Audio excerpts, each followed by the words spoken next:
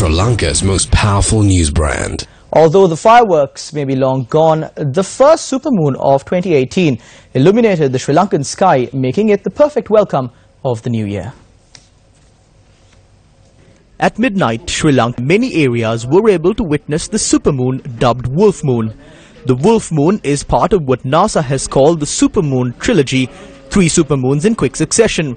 The first supermoon of the trilogy rose in December, the second will on the 2nd of January, and the third, a blue moon, will rise on the 31st. NASA is calling this the biggest and brightest for one of the entire year and so far it isn't disappointing. The phenomenon supermoon occurs when the moon becomes full on the same day it reaches its perigee, the point in the moon's elliptical orbit when it is closest to Earth.